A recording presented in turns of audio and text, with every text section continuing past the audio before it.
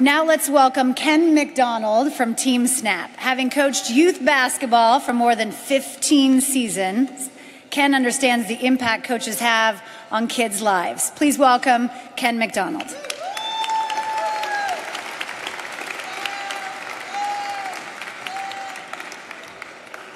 Tonight, I want to talk about two youth athletes, Robert and David.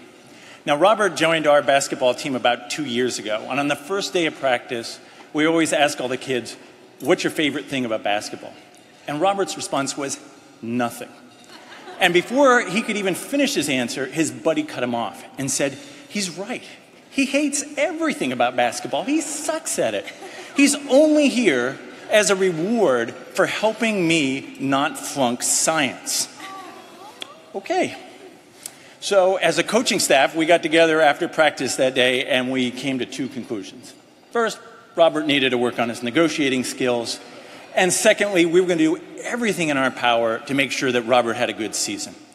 And, and, yet it was tough. I mean, he showed up to, you know, all those first practices with this scowl on his face and just, you know, his attitude was just not there. And we just worked with him on really basic defensive skills. And then about the third practice, he made a steal, and then another steal, and another steal. And that slowly, that scowl started to melt away. And we built up the confidence in to bring up the ball, and then uh, the ability to take some shots first in practice and then during the game. Now, fast forward uh, to this year, about two years, we go to this tournament, a lot of really strong players and uh, we get shellacked the first four or five games. Uh, we finally get a game where we're in the hunt. We're down by two, two minutes left.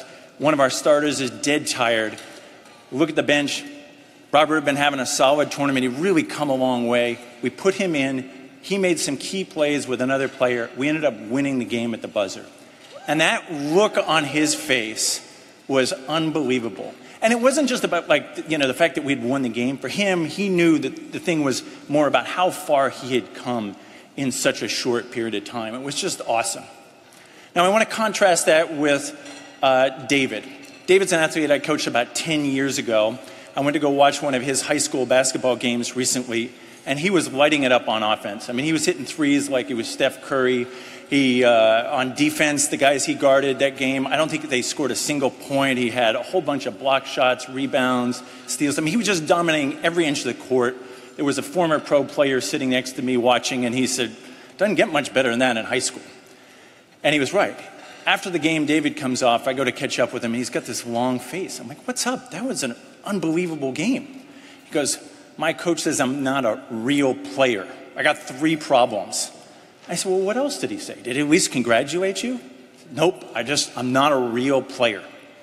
You fast forward six weeks, David had quit the sport, basically the only activity he was really passionate about in life and had been passionate about since he was three years old. He quit that, ended up uh, giving up his aspirations of playing college basketball. In the end, 17 kids out of that program ended up dropping out.